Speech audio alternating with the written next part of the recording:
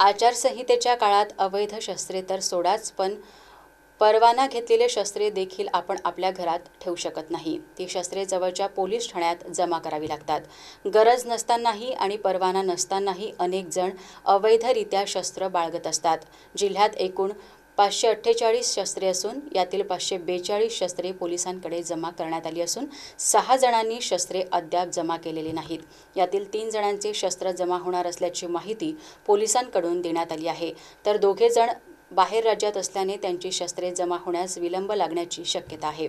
अनेक जण अवैधरित्या शस्त्र बाळगत असतात. मात्र असे केल्यास आर्म ॲक्टनुसार गुन्हा दाखल होऊ शकतो.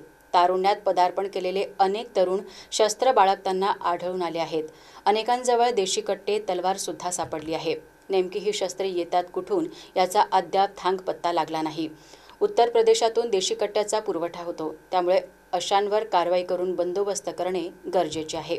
पोलिसांनी यापूर्वी अनेकांकडून शस्त्रे जप्त केली आहेत. चंद्रपूर जिल्ह्यात यापूर्वी अनेकदा गोळीबार करून गुन्हे घडलेले आहेत. कुठे कोल माफिया तर कुठे रेती तस्करी यातून उद्भवणारे टोळी युद्धात अनाधिकृत शस्त्रांचा वापर करण्यात आल्याच्या घटना चंद्रपूर जिल्ह्यात घडल्या आहेत.